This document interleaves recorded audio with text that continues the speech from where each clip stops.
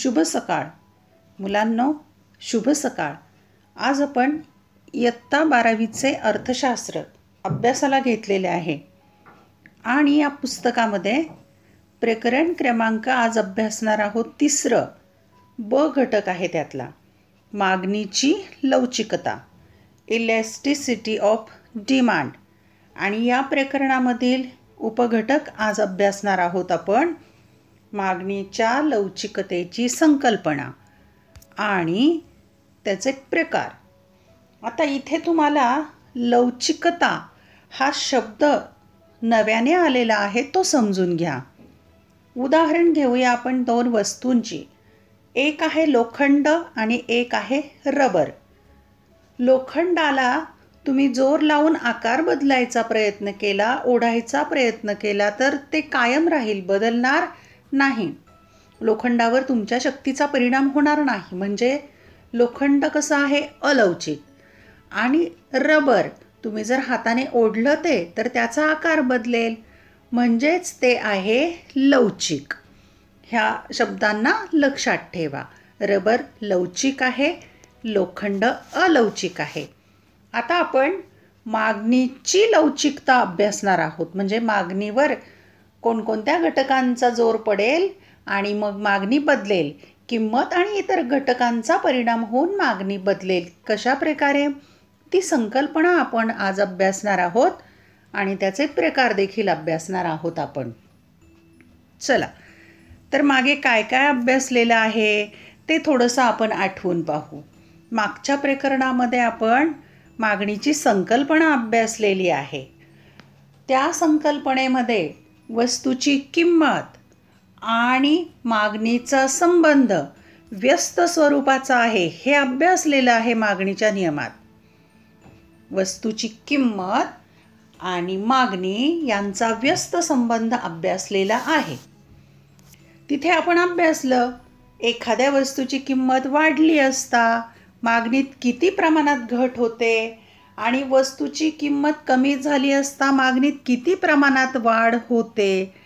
हे मात्र मागणीच्या नियमात समजत नाही. तिथे फक्त किंमत आणि मागणीचा व्यस्त संबंध आहे एवढंच समजतंय. पण त्यात प्रमाणशीर बदल किती आहे हे मात्र समजत नाही. अशा प्रकारे मागणीचा नियम हा वस्तूची किंमत व मागणी यातील संख्यात्मक संबंध स्पष्ट करण्यास अपुरा पडतो. म्हणूनच डॉक्टर मार्शल यांनी मागणीची लवचिकता ही संकल्पना मांडलेली आहे. पुन्हा लक्षात घ्या मागणीच्या नियमात वस्तूची किंमत आणि मागणीचा जो संबंध आहे तो व्यस्त आहे एवढंच समजतंय.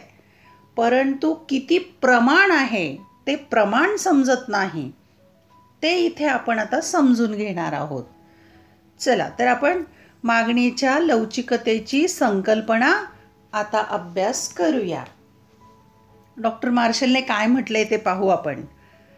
एका चलातील बदलाचा दुसऱ्या चलावर होणारे परिणाम लवचिकतेची संकल्पना स्पष्ट करते. चल म्हणजे घटक. एका घटकाचा परिणाम दुसऱ्या घटकावर होतोय तो अभ्यास लवचिकतेच्या संकल्पनेत येतो. आणि मागणीची लवचिकता ही संकल्पना किंमत आणि इतर घटकातील बदलांचा मागणीतील बदलांवर होणारा परिणाम दर्शवते. किमतीमुळे आणि इतर परिस्थितीमुळे. जो मागणीवर परिणाम होतो तो इथे दर्शवतो. प्राध्यापक मार्शल यांच्या मते ज्या प्रमाणात किमतीत घट होते त्यानुसार मागणी जास्त अथवा कमी प्रमाणात वाढते.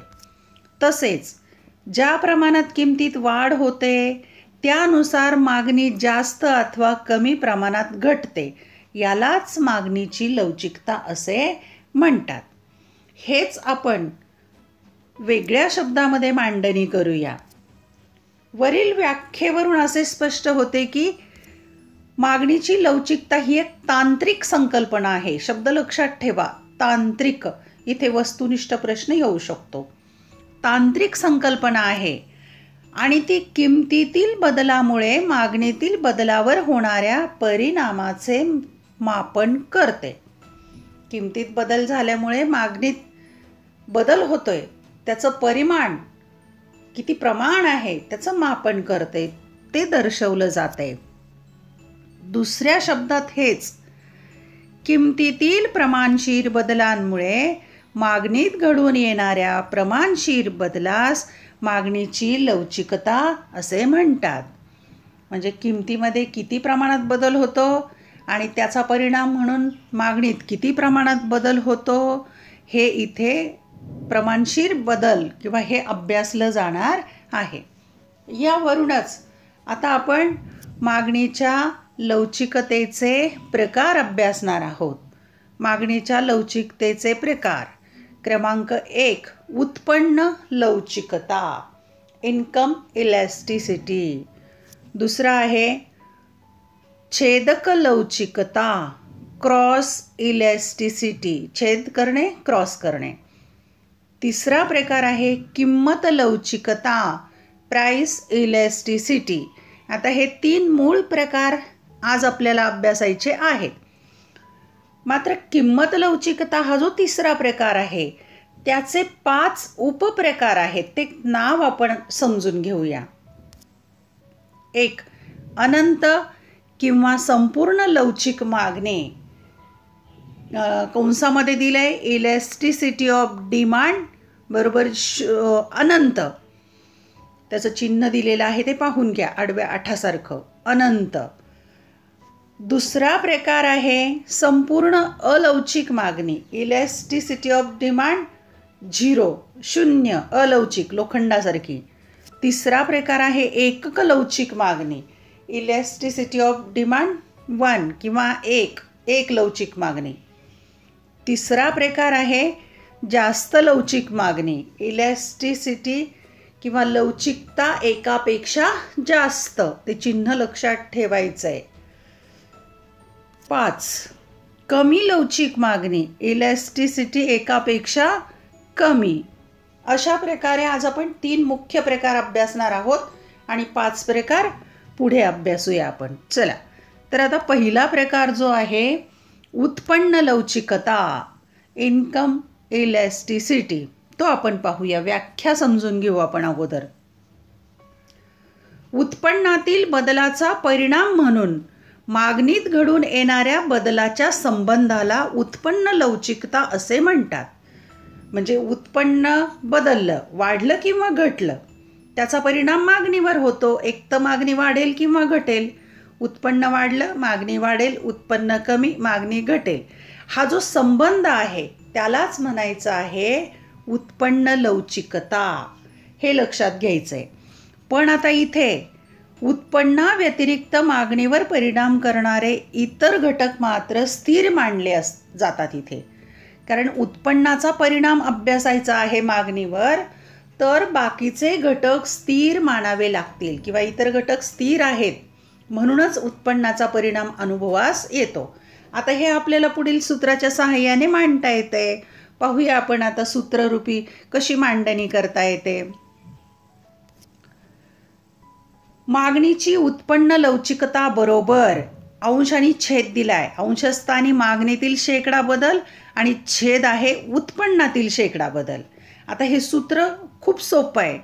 तेच खालच्या ओळीमध्ये मांडलेलं आहे. काही अक्षर शॉर्टमध्ये दिलेली आहेत. सूत्र मांडणी मागणीची उत्पन्न लवचिकता बरोबर. पर्सेंटेज किंवा शेकडा आणि त्रिकोण दिलाय. त्याला डेल्टा म्हणायचं. डेल्टा म. पर्सेंटेज डेल्टा म. डेल्टाचा अर्थ आहे बदल. बदल म्हणजे डेल्टा छेद. पर्सेंटेज डेल्टा य. आता हे वरती जे मराठीत सूत्र दिलेलं आहे आणि खाली तेच इंग्रजीत सूत्र दिलं आहे पण पुढे आणखी दोन सूत्र दिलेली आहेत एक भागिलेमध्ये आणि एक गुणिलेमध्ये.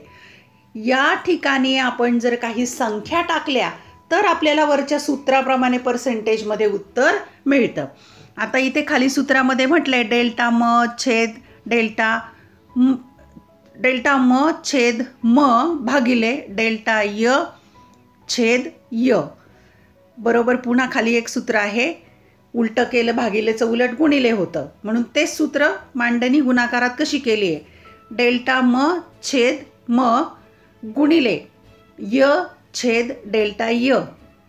आता हे म य काय आहे ते समजून घेऊ. म म्हणजे मूळ मागणी य म्हणजे मूळ उत्पन्न. डेल्टा म डेल्टा म्हणजे काय? बदल. डेल्टा म म्हणजे मागणीतला बदल आणि डेल्टा य म्हणजे उत्पन्नातला बदल. अशा प्रकारे उत्पन्नाच्या लवचिकतेचं सूत्र लक्षात ठेवायचं आहे वरचं मराठीतलं. मागणीतील शेकडा बदल छेद छेद उत्पन्नातील शेकडा बदल आणि इंग्रजी सूत्रही लक्षात ठेवायचं आहे आता आपण पुढचा याचा याचा परिणाम काय होतो किंवा याचा लवचिकता कशी असते वेगवेगळ्या वस्तूंच्या बाबतीत ते आपण आता समजावून घेऊया. म्हणजे आपल्याला माहीत असायला हवं. काय काय माहीत असायला हवं?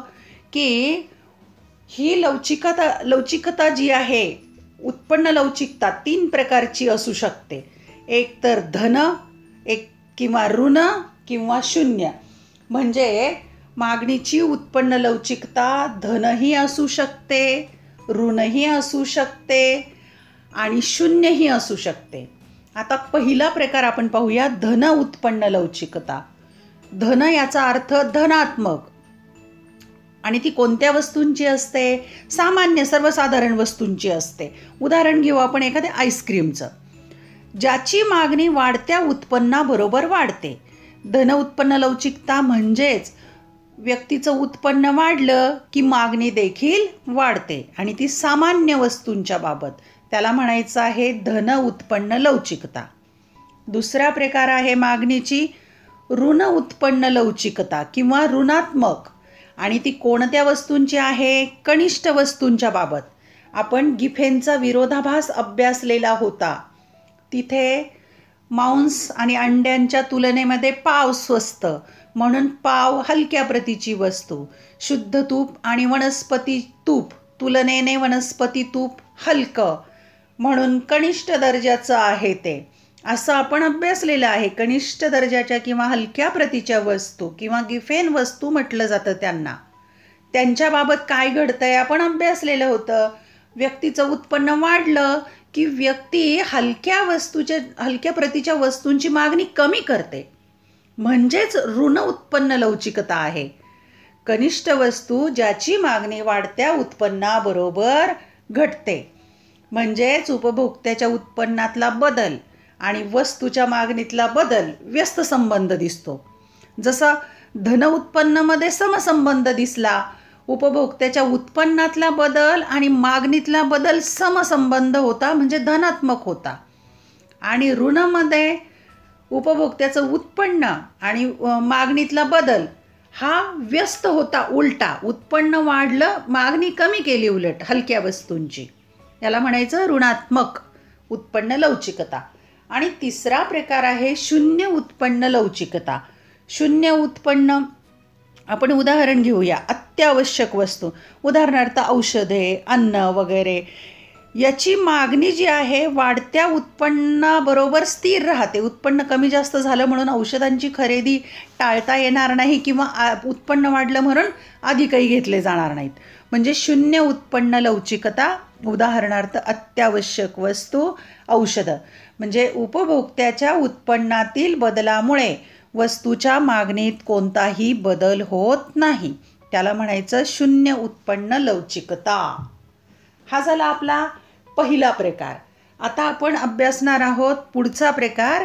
प्रकार आहे छेदक लवचिकता क्रॉस इलॅस्टिसिटी. पाहूया आपण म्हणजे काय ते? छेदक लवचिकता म्हणजे एका वस्तूच्या किमतीतील बदलाचा अन्य पर्यायी आणि पूरक वस्तूंच्या मागणीत घडून येणारा बदल होय. आता आपण पर्यायी वस्तूचं उदाहरण घेतलेलं होतं आणि पूरक वस्तूंचंही उदाहरण घेतलेलं होतं. चहा कॉफी गोळसाखर पर्यायी आणि पूरक वाहन आणि इंधन किंवा पेट्रोल. असं उदाहरण लक्षात ठेवा. पूरक आणि पर्यायी वस्तूंचं. म्हणजे काय? तर एका वस्तूची किंमत बदलली की त्याचा परिणाम दुसऱ्या वस्तूच्या मागणीवर होतो. याला छेदक लवचिकता असे म्हणतात. आता आपण ते खालील सूत्राच्या सहाय्याने समजून घेऊया. खालील सूत्रामध्ये काय दिलं आहे मागणीची छेदक लवचिकता बरोबर. अ वस्तूच्या मागणीतील शेकडा बदल अंशस्थानी दिला आहे आणि छेदस्थानी ब वस्तूच्या किमतीतील शेकडा बदल. आणि त्याचं विश्लेषण दिलं आहे अ म्हणजे मूळ वस्तू आणि ब म्हणजे अन्य वस्तू. आता जर चहाच्या चहा पावडरच्या किमतीमध्ये बदल झाला तर कॉफीच्या मागणीमध्ये बदल होतो. असा त्याचा अर्थ. म्हणजे एका वस्तूची किंमत बदलली की दुसऱ्या वस्तूच्या मागणीवर परिणाम होतो. याला छेदक लवचिकता असे म्हणतात. आणखी आता आपण याचं सूत्र काय आहे ते आपण पाहूया. सूत्रामध्ये दर्शवलेलं आहे मागणीची छेदक लवचिकता बरोबर पर्सेंटेज डेल्टा म अ. छेद पर्सेंटेज डेल्टा किंमत. ब म्हटलेलं आहे तिथे. आणि त्याच्या हे सूत्र जे आहे त्याचं विश्लेषण खाली दिलं आहे म अ म्हणजे अ वस्तूची मूळ मागणी डेल्टा अ म्हणजे अ या मूळ वस्तूच्या मागणीतील बदल क ब म्हणजे ब वस्तूची मूळ किंमत डेल्टा ब म्हणजे ब या पर्यायी वस्तूच्या किमतीतील बदल. आता इथे सूत्र तुम्ही फक्त पहिलं जे आहे तेवढं लक्षात ठेवायचं. आणि बाकीचं सूत्र जे आहे ते तुम्हाला तिथे संख्या टाकून गणित सोडवण्यासाठी वगैरे नाही आहे ते फक्त माहितीसाठी दिलेलं आहे की डेल्टा म अ छेद डेल्टा म भागिले डेल्टा क अ छेद क ब. बरोबर? डेल्टा म अ छेद म अ गुणिले वरचं सूत्र आहे तेच गुणिले केलेलं आहे. उलट झालं आहे मग. अंशस्थानी क ब छेद डेल्टा क ब. या सूत्राच्या इथे संख्या टाकून जर गणित सोडवलं तर आपल्याला मागणीची छेदक लवचिकता समजते. आता यानंतर आपण यावरून काही निष्कर्ष काढूया. पाहू आपल्याला माहीत आहे का या गोष्टी? तुम्हाला माहीत आहे का? छेदक लवतिक लवचिकता जी आहे त्याचे तीन प्रकार. एक तर धनात्मक छेदक लवचिकता ऋणात्मक छेदक लवचिकता आणि शून्य छेदक लवचिकता. आता धनात्मक छेदक लवचिकता म्हणजे पाहूया काय? पर्यायी वस्तूच्या संदर्भात आहे. धनात्मक की पर्यायी वस्तू आहे इथं उदाहरण घेतले चहा आणि कॉफी. उदाहरणार्थ चहाची किंमत वाढली तर कॉफीच्या मागणीवर परिणाम होईल. एका वस्तूच्या मागणीतील किंवा मूळ वस्तूच्या मागणीत शेकडा बदल व दुसऱ्या वस्तूच्या किमतीत शेकडा बदल यात समसंबंध असतो. त्याला म्हणायचं धन छेदक लवचिकता. चहा पावडरची किंमत जर वाढली तर कॉफीची मागणी वाढेल. याला म्हणायचं धनात्मक छेदक लवचिकता. एका वस्तूच्या किंमत बदलाचा परिणाम दुसऱ्या वस्तूच्या मागणीवर झाला. हे पर्यायी वस्तूंचं उदाहरण घेतलेलं आहे चहा आणि कॉफी. दुसरा प्रकार आहे ऋणात्मक छेदक लवचिकता. ऋणात्मक छेदक लवचिकता याचा अर्थ एका वस्तूच्या मागणीतील शेकडा बदल व दुसऱ्या वस्तूच्या किमतीतील शेकडा बदल यांचा व्यस्त संबंध. उदाहरणार्थ चहा आणि साखर. की एका वस्तूची किंमत बदललेली आहे त्याचा परिणाम दुसऱ्या वस्तूच्या मागणीवर होतो. तिसरा प्रकार आहे शून्य छेदक लवचिकता. उदाहरणार्थ असंबंधित वस्तू की ज्या दोन वस्तूंचा एकमेकांशी काहीच संबंध नाही आहे उदाहरणार्थ चहा आणि पुस्तकं. एका वस्तूच्या मागणीतील शेकडा बदल व दुसऱ्या वस्तूच्या किमतीतील श शेकडा बदल याच्यात कुठलाच संबंध नाही आहे म्हणजे चहाची किंमत कमी जास्त झाली म्हणून पुस्तकाच्या मागणीवर काही परिणाम होणार नाही आहे अशा प्रकारे असंबंधित वस्तूच्या बाबत छेदक लवचिकता शून्य आढळते. हा झाला आपला दुसरा प्रकार आणि शेवटचा आपण तिसरा प्रकार अभ्यासणार आहोत. तो आहे किंमत लवचिकता प्राईस इलॅस्टिसिटी पाहूया आपण अल्फ्रेड मार्शल काय म्हणतायत. प्राध्यापक अल्फ्रेड मार्शल यांच्या मते किमतीतील प्रमाणित बदलांमुळे मागणीत जो प्रमाणित बदल होतो त्याला मागणीची किंमत लवचिकता असे म्हणतात. म्हणजे किमतीत जेवढा शेकडा किंवा शेकडा बदल होईल प्रमाणशीर तेवढाच प्रमाणशीर बदल मागणीत होईल. त्याला म्हणायचं मागणीची किंमत लवचिकता. हे आता पुढच्या सूत्रावरून आपण ते समजावून घेऊया. सूत्र दिलेलं आहे मागणीची किंमत लवचिकता बरोबर. मागणीतील शेकडा बदल छेद किमतीतील शेकडा बदल. तेच सूत्र इंग्रजीमध्ये मांडलंय. मागणीची किंमत लवचिकता बरोबर पर्सेंटेज डेल्टा म छेद पर्सेंटेज डेल्टा क. आणि इथे म डेल्टा म म्हणजे नवीन मागणी व जुनी मागणी यामध्ये यातील फरक. क म्हणजे मूळ किंमत आणि डेल्टा क म्हणजे नवीन किंमत आणि जुनी किंमत यातला फरक. म्हणजे किमतीत किती टक्के बदल झाला आणि त्यामुळे मागणीत किती टक्के बदल झाला हे जर सूत्राने सोडवलं तर मागणीची किंमत लवचिकता कळते. आणि हे जे सूत्र दिलेलं आहे इंग्रजीमध्ये तेच गुणिले आणि भागिले करून सूत्र दिलेलं आहे. याच्या सहाय्याने जर आपण शोधलं तर मग आपल्याला किंमत लवचिकता कळते. शेकडा प्रमाण आपल्याला इथे समजतं. आता आपण किंमत लवचिकतेपर्यंत तिसरा प्रकार अभ्यासला. किंमत लवचिकतेचे पाच प्रकार आहेत त्याचं त्याची तोंड ओळख आपण आता इथे करून घेऊया. पाच उपप्रकार आहेत. ते मागणीच्या लवचिकतेचे किंमत लवचिकतेचे प्रकार आहेत ते पाच.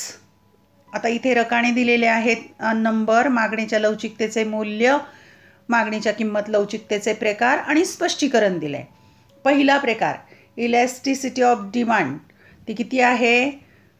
शून्य. संपूर्ण अलौचिक मागणी.